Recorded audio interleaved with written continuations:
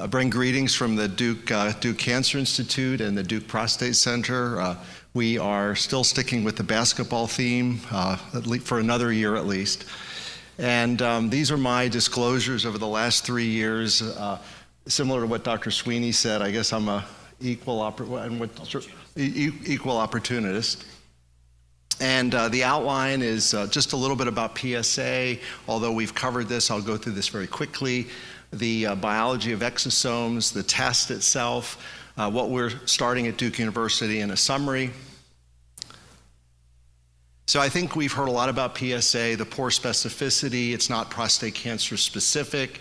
And uh, boy, didn't the U.S. Preventative Services Task Force bash PSA over a period of about six or seven years. I'm going to talk about it at the end, but uh, gosh, we have a whole generation of primary care physicians who knew nothing, you know, basically abandoned prostate cancer screening. And we have a generation of younger PCPs who have no idea how to do a digital rectal exam. So I'm sure the urologist in the audience uh, can attest to that. But we know about the D recommendation and now the C recommendation over the last year or two for uh, subgroup of men 55 to 69 you know, what is the proper cut point? You see on this slide anywhere from 1.5 to 10. We had some papers on the danger zone, and we know from long term epidemiologic studies that men who come into the system with a PSA greater than 1.5 do have a greater risk of prostate cancer over the long haul. But obviously, how do you apply that in clinical practice is another matter the uh, plethora of things we can use to, to try to improve on PSA, age specific PSA. Um, our group was very fortunate to work with um, looking at African American men and, and um, uh, ethnicity or race adjusted PSA. We did that work at Walter Reed, published in the 90s, uh, New England Journal of Medicine, PSA velocity and density, et cetera. And uh, I think that um, uh, Matt Cooperberg from UCSF may be the first to coin this phrase as far as the wild west of biomarkers, and where certainly there's a lot of controversy with regard to tissue, blood, urine, and uh, multiparametric MRI. And if you look out here in the lobby with all the posters, it's just amazing to see all the work being done in this area. As far as biomarkers, we can certainly use blood, urine, blood and urine, uh, tissue, and then radiomics with multiparametric MRI, uh, MRI.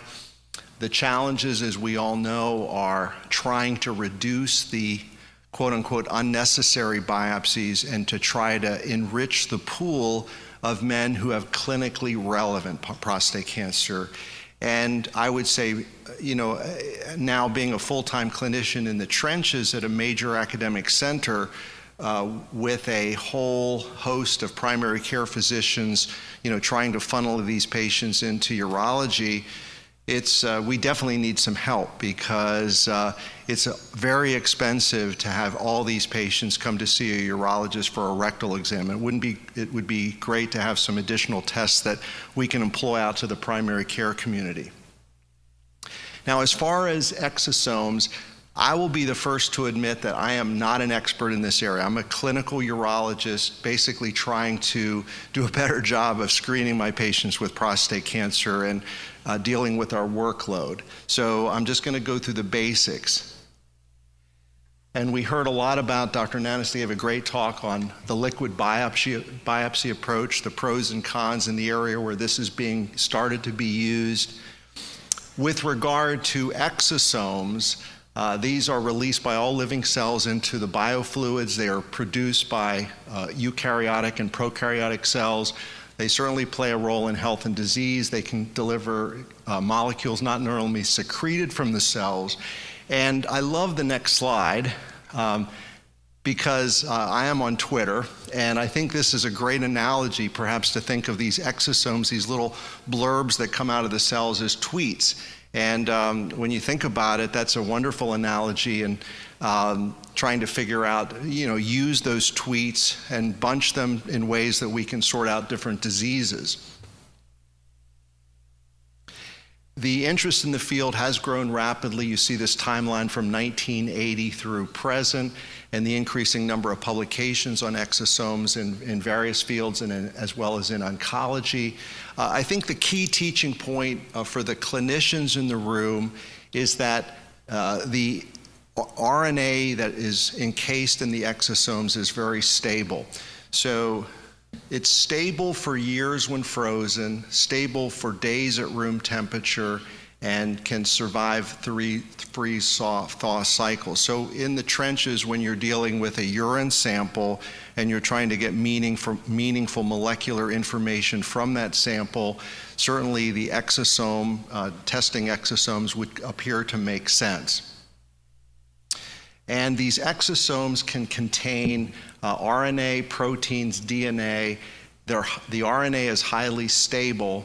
And so certainly we can understand that perhaps in the future, as time moves on, that these could be exploited in medical care for diagnostics. This is a busy slide and just shows some of the applications. Uh, suffice it to say that there's a lot of work being done not only in oncology but in other areas of medicine, and I think I'll leave it at that.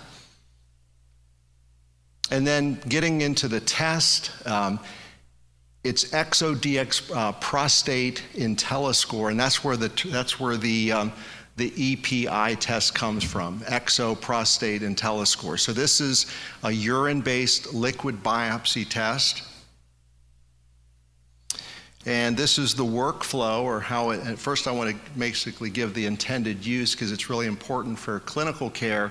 The EPI risk score is used to risk stratify the likelihood of high grade, meaning Gleason grade group 2 or greater, uh, prostate cancer uh, when in men 50 years of age and older with a PSA between 2 and 10. So if you're going to use this test, this is the intended use. This is where the, the, the studies have been shown it to uh, be useful.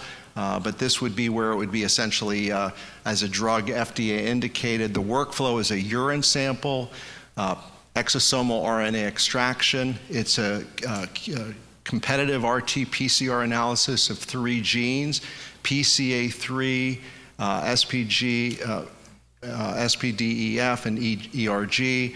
It, it, it's pl placed into an algorithm, and then we get the result. This is what the report looks like, and I've had the as I'll mention at the end, I've had the opportunity, I think we've done about 120 of these tests so far as part of our pilot uh, that we're, we're going to be rolling out into a bigger study. But this is what the report looks like. And you get a, a, a score, and as we'll see a little bit later, the cut point is about uh, 15, 16 as to the risk of the patient harboring higher grade prostate cancer. Uh, and like any of these other molecular tests, and I know many of the clinicians in the room have used, whether it be uh, you know Prolaris, Oncotype, Decipher, et cetera, part of the art of medicine is actually going through this report with a patient and it's basically it's a skill set in and of itself just going through all these uh, tests and trying to help patients make a decision. Nevertheless this is what the report looks like. Uh, background on some of the some of the peer review papers uh, JAMA Oncology, the first validation study that was published in JAMA Oncology in July 2016, and the second validation study published in European Urology in September 2018. So I'll show some data from both of those validation papers. So if we look at the first and second validation studies, the overall cohort size was 1,022 patients median age of 63, median PSA of 5.3. About 15.5% were African American, and about 18% had a family history. So this is would be typical of many practices throughout the country. And again, the EPI cut point that was used for this, this, these two trials was 15.6, meaning in a group of patients who had not had a prior prostate biopsy and the intended use PSA 2 to 10, uh, this was the cut point that was, that was uh, validated. The prevalence of high-grade prostate cancer in this cohort was about 30%. About 23% of patients had a biopsy avoided. Sensiti sensitivity was 92.5, specificity was 30, negative predictive value 90.4. And these are the, uh, the, the, uh, the, the, curves. And the comparison is uh, some of the risk group calculators, PCPT and the ERSPC uh, calculators, and then PSA alone, with the green being the EPI score. And this is a, a worthwhile slide to dissect a, a bit. So again, using the epi cut point less than 15.6 versus greater than 15.6, uh, we can see that overall uh, the high grade prostate cancer prevalence was 30%. And let's just focus on the patients who would have a negative test.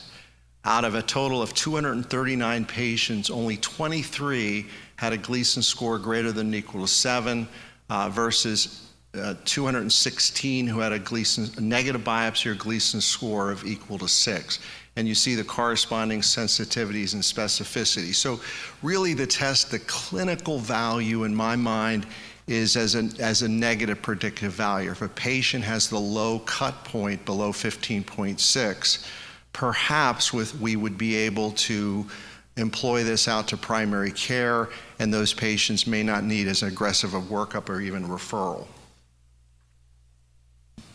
And this is a nice slide showing you know, the EPI scores from 0 to 10, 10 to 20, so forth.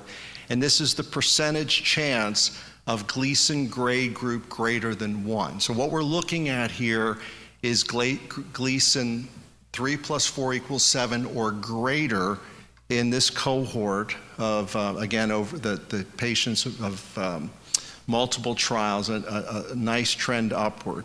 And here, primarily, when you're down, again, the, the cut point in the validation study was 15.6, but even down here into the 0 to 10, uh, the risk of high grade prostate cancer was certainly less than 10%. And then this is just looking at the further about a performance in a series of patients who had already had a negative biopsy. I won't spend a lot of time on this, but basically they, in this cohort, looking at a, perhaps a different cut point for patients who had a prior negative biopsy. And that's, in this study, it was 29.5. However, again, this is, this is preliminary. This is not in the label. This is not yet a cut point for clinical use, but this just shows that further work trying to see if this could be helpful in a patient with a second biopsy. We've done about 120 cases at Duke, and it's a pilot.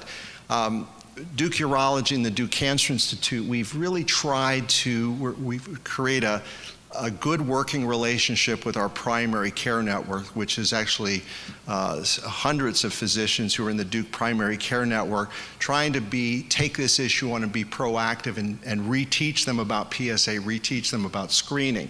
So our goal was is to use the EPI test uh, in the future in our primary care network. But this first group of patients, and we're working on the data now and hopefully put an AUA abstract in, is um, on more than 120 patients and um, looking at this very similar to what was in the validation cohort.